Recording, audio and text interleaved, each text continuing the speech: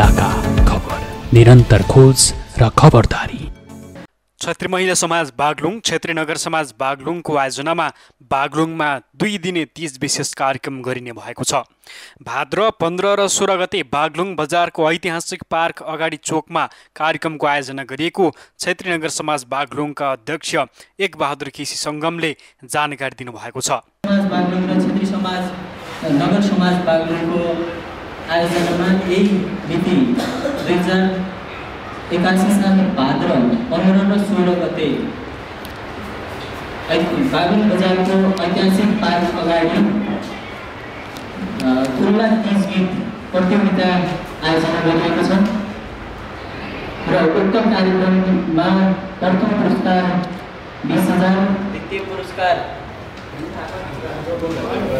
द्वितीय पुरस्कार तृतीय पुरस्कार दस हजार सान्त्वना पुरस्कार पाँच हजार र उत्कृष्ट सहभागी प्रतियोगी मध्येबाट चाहिँ छानेर दुई हजारको एउटा पुरस्कार राशि चाहिँ राखिएको छ भने हामीले चाहिँ टिम दर्ता शुल्क पाँच एक हजार प्रति टिम एक हजारको दरले चाहिँ राखिएको छ। कार्यक्रमको अवसरमा खुल्ला तिज गीत प्रतियोगिता सञ्चालन गरिने जसमा प्रथम स्थान हासिल गर्नेले रु बिस हजार र प्रमाणपत्र दोस्रो स्थानको समूहले पन्ध्र हजार र प्रमाणपत्र र तेस्रो स्थानको समूहले पाँच हजार रुपैयाँ पुरस्कार प्राप्त गर्नेछ। त्यस्तै सहभागी मध्येबाट एकजना कलाकार उत्कृष्टले रु दुई हजार रुपैयाँ प्राप्त गर्नेछन्। पछिल्लो समय तिज प्रतिको संस्कृति हराउँदै गएको भन्दै तिज गीत प्रतियोगितामा विशेष मौलिक गीतलाई प्राथमिकता दिइने छत्री समाज बागलुङका अध्यक्ष रुद्र बहादुर महतले जानकारी दिनुभएको छ।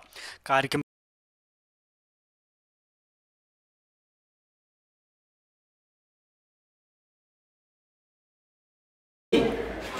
हिन्दू महिलाहरूलाई यसमा सहभागी हुनको लागि र हिन्दू महिलाहरूको चाहिँ यो तिज पर्व महान तिज पर्वलाई चाहिँ भव्य सभ्य र जातीय सद्भाव कायम हुने हिसाबले अगाडि बढाउने हिसाबले चाहिँ हामीले यो कार्यक्रम आयोजना गरेका हौँ।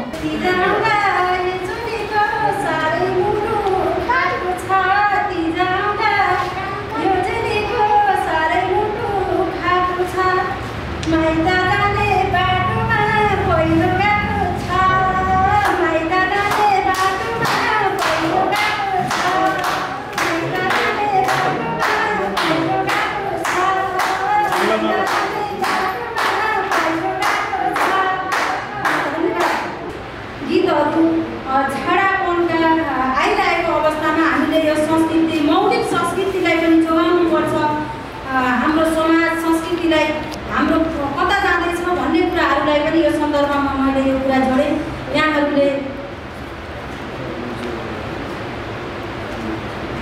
अ, जाँदैछ भन्ने कुरा मैले यसरी जोड्न चाहेँ गीतको माध्यमबाट। यहाँहरूले हाम्रो क्षेत्रीय समाज बागलुङ क्षेत्रीय पत्रकार समाजका अध्यक्ष आदरणीय पत्रकार मित्र राम थापा अविरलज्यूको चाहिँ संयुक्तमा यहाँहरू चाहिँ जसरी हाम्रो निमन्त्रणा स्वीकार दिएर आउनुभयो। यहाँलाई म क्षेत्रीय समाज बागलुङको अध्यक्षबाट यहाँलाई हृदयदेखि धन्यवाद दिन चाहन्छु। आगामी दिनमा पनि यहाँको हामी बिचमा यो मित्रता यो सद्भावना हामी बिचमा सधैँ गरिरहने रहिरहनेछ। र आज हामीले हाम्रो सञ्चालकज्यूले पनि भनिसक्नुभयो विशुद्ध हामीले क्षेत्रीय समाज बागलुङले यो आयोजना गरेको। हामी चाहिँ हाम्रो समाज नाफामूलक समाज हो नाफा रहित समाज हो। हामीले कुनै नाफा मुनाफा गर्ने उद्देश्यले जो होइन हामीले विशेष गरेर हाम्रो दिदीबहिनीहरूलाई क्षेत्रीय समाजको दिदीबहिनीहरूलाई वर्षेनी हामीले चाहिँ दर्पाउने जसरी तपाईँ हामी व्यक्तिगत रूपमा तिजको बेलामा दिदीबहिनीहरूलाई हामीले घरमा बोलाएर आफ्ना दिदीबहिनीहरूलाई दुःख सुख साट्ने र मिठो चोखो जे छ घरमा त्यो खुवाउने जुन हाम्रो परम्परा छ हाम्रो यो चाहिँ हरितालिका तिजको अवसरमा पावन अवसरमा त्यसरी क्षेत्रीय समाज बागलुङले सधैँभरि जिल्लाभरिबाट दिदीबहिनीहरूलाई बोलाएर आफ्नै यही सभाहरूमा यो चाहिँ तिजमा हामी दर खुवाउने कार्यक्रम गर्थ्यौँ र अहिले केही साथीहरूले र अन्य समाजका साथीहरूले पनि सधैँभरि अब कोठामा नबस्नुहोस् थोरै विस्तृत रूपमा चाहिँ तपाईँहरूले कार्यक्रम गर्नुहोस् भनेर हामीलाई सुझाव आएर हामीले यो चाहिँ विशुद्ध। हामी क्षेत्रीय समाज बागलुङले सामाजिक सद्भाव कायम गर्दै जातीय सद्भाव कायम गर्दै सबै समाजसँग सबै धार्मिक सहिष्णुता कायम गर्दै हामीले अब समाजमा हामी एकरूपता ढङ्गले अगाडि बढ्नुपर्छ भन्ने उद्देश्यका साथ हामीले आम सार्वजनिक रूपमा यहाँ जात जाति भाषा लिङ्ग धर्म कसैलाई पनि हामीले चाहिँ नछुटाइकन सबैले चाहिँ यो कार्यक्रममा भाग लिन पाउनुहुनेछ र यो भाग लिने क्रममा हामीले तिसको क्याटेगोरीमा चारवटा क्याटेगोरीमा हामीले चाहिँ जुन छुट्याएका छौँ त्यसै मध्येबाट सर्वप्रथम हाम्रो सङ्गमजीले प्रश्न गर्नुभएको छ। प्रश्नको लागि यहाँलाई धन्यवाद। सङ्गमजीले भन्नुभएको छ यो तिसको कार्यक्रमको कुल बजेट आएको छ। यो बजेट कसरी चाहिँ कसरी चाहिँ यहाँले चाहिँ बजेटलाई चाहिँ सञ्चालन गर्नुहुन्छ कहाँबाट प्राप्त गर्नुहुन्छ भन्नुभएको छ। र त्योलाई सर्वप्रथम हामीले यो हाम्रो चार लाख उन्तिस हजारको बजेट हामीले के चाहेका थियौँ भने सबैभन्दा पहिला क्षेत्रीय समाज बागलुङले क्षेत्रीयमै हामीले आन्तरिक रूपमा हाम्रा दाजुभाइसँग मात्रै यो पैसा उठाएर यसपालि त्यो हामी पचास साठी हजारको चाहिँ दर पाउने भन्दा हामीले बाहिर चाहिँ हामीले मुनाफा रहित भएको हुनाले यो सानो कार्यक्रम करिब यो चार लाखभित्रको कार्यक्रम यसरी सकौँ भन्ने उद्देश्यले यो बजेटमा रहेर हामी आन्तरिक रूपमै पैसा उठायौँ।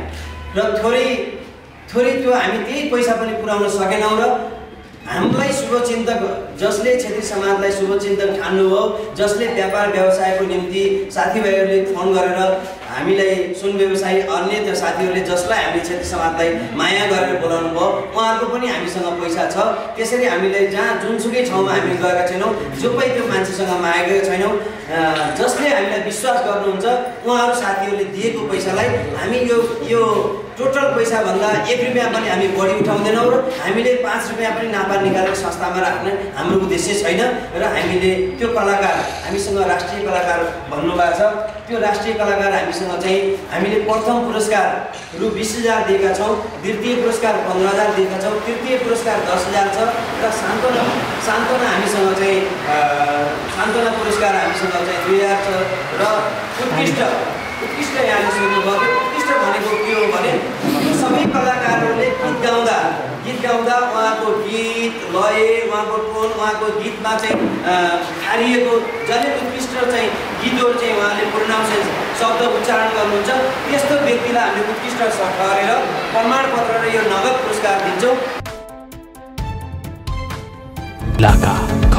निरन्तर खोज र खबरदारी।